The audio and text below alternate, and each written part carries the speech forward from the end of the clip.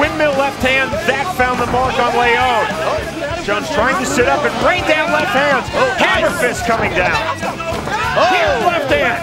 Here's left hand. That had to have rocked him. That was a very hard left hand. Jones trying to get the back. Oh, out they go.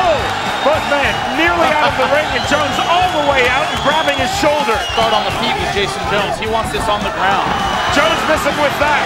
Has the opportunity for a guillotine. Let it go. Body, to throw everything you can to wear your opponent out. It looks like he's going for that far side armbar again. Stepping over almost into the north-south. The reversal from Jones. Pure strength and power. Pure strength and power by Jones. Good athleticism by Jones in the reversal. Excellent job by Jones. Good balance, good control. Staying on top and landing some really, really nice left hands. Ground and pound coming up from Jones. Well, he's using that jab to set up a good.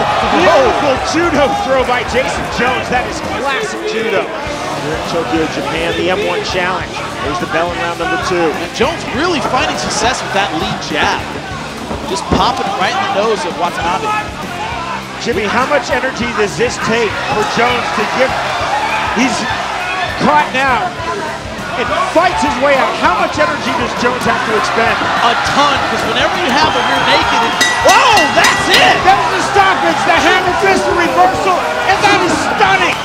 Stunning reversal for the victory by Jason Jones. Oh, Almost choked out, sat up, and won it by knockout. Unbelievable.